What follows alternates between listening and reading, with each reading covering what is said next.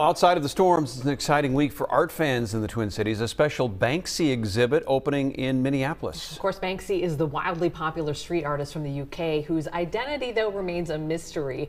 Even as collectors eat up everything Banksy creates, from spray paint graffiti to works on canvas. Our Paul Blume has a sneak peek. Fox 9 cameras rolling as Banksy's iconic Girl with Balloon was uncrated inside Lighthouse Art Space in Northeast Minneapolis on Monday. So many have wondered is she reaching for it or is she letting the balloon go?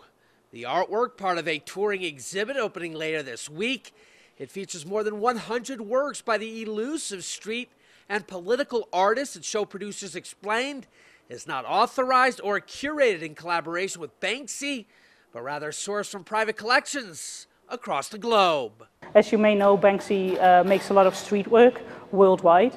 So if you would want to see his work, you would have to get tickets around the world to go and see his art in, in real life.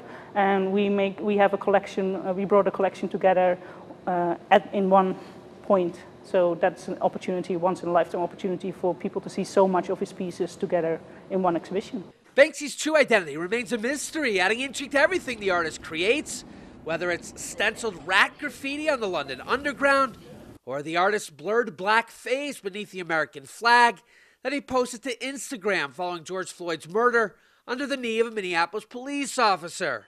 Banksy may be most famous for partially shredding a painting that had just sold at auction for more than a million dollars. Who is Banksy?